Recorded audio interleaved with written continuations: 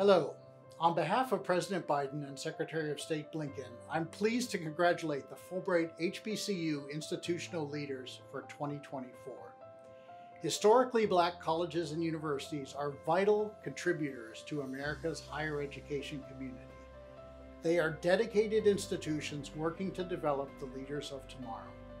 The Fulbright program provides life-changing exchange opportunities for HBCU students, faculty, and administrators to study, teach, and conduct research abroad.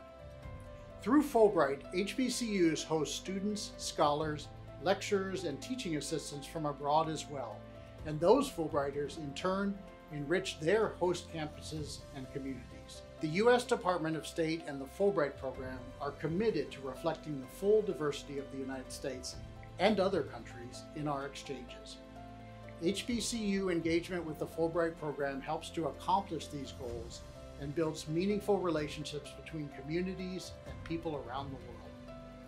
I hope that the success of these institutions will inspire all HBCUs to engage with the Fulbright program even more.